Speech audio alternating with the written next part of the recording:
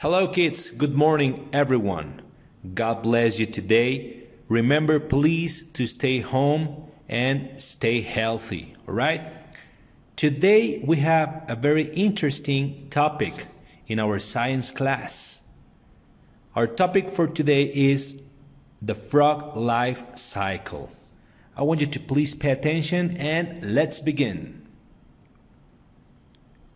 First, frog spawn. What are they? A female frog lays thousands of eggs underwater. During the process, they are being fertilized by a male frog. The eggs later float as jelly like mass at the surface of ponds. This happens a lot in spring. Next, the tadpole. What happens at this stage? Between 6 to 21 days after eggs were fertilized, tadpoles hatch from them.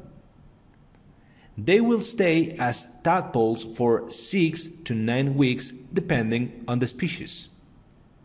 Tadpoles live in calm, static waters. They feed on algae and microplants have a tail, and swim really fast. Next, what happens at this stage? Tadpole's metamorphosis develops hind legs first, later develops forelegs. It looks more like a frog with a tail. The tail starts to shorten. It is also called a froglet at this stage. And finally, an adult frog. What happens at this stage? The frog loses its tail and becomes an adult male or female frog. Being an amphibian, it lives partly on land and in water. Its diet also changes. Frogs eat insects.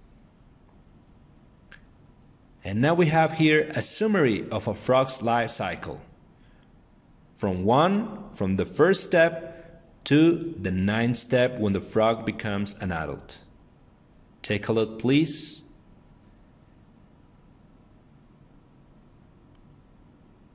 And very good. Okay. Thank you for watching this video and for paying attention. Now, Please open your virtual classroom and follow the instructions to do the science activity. God bless everyone. Bye.